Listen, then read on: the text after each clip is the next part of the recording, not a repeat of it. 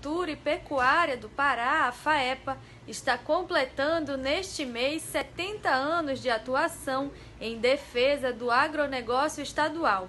A FAEPA atua no desenvolvimento econômico e social do setor agropecuário, além de promover a resolução de problemas técnicos Atualmente, o campo contribui com 21% do PIB dos municípios do estado e emprega mais de 40% dos trabalhadores paraenses.